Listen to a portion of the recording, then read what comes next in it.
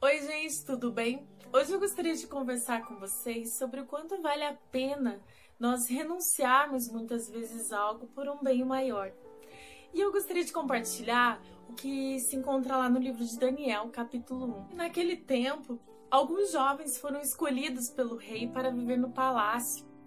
E dentre esses jovens, alguns seriam escolhidos como os melhores. E Daniel e mais três amigos fizeram propósito de não se contaminar com os manjares do rei. Nisso, eles escolheram comer outro tipo de comida, bem menos gostosa do que os manjares do rei que tinha naquela época, naquele palácio. E eles abriram mão disso durante dez dias. E Deus deu a esses quatro jovens muita inteligência, muita sabedoria e após dez dias que eles se apresentaram diante do rei, eles eram tipo os destaques assim dos outros jovens que não haviam renunciado, como esses quatro jovens tinham renunciado. Mas eu quero me atentar apenas ao fato de que o quanto vale a pena nós muitas vezes renunciarmos a algo por um bem maior.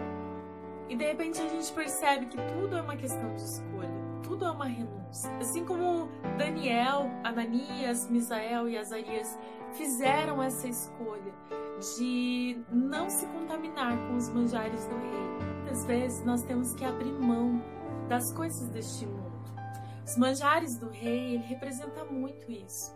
Ele representa muito os prazeres momentâneos deste mundo. E muitas vezes nós precisamos renunciar a tudo isso por um bem maior presença de Deus não se compara com tudo que o mundo pode nos oferecer. Pode ter certeza que a tua renúncia vai valer a pena. Deus não quer nos dar coisas temporárias, mas Ele quer para nós a eternidade. Eu sei que não é fácil, é muito mais prazeroso para a gente às vezes ficar numa determinada posição de conforto, é muito melhor. Para viver diferente, nós temos que fazer escolhas diferentes. O preço é alto, mas a vitória é certa. Que Deus te abençoe e até a próxima.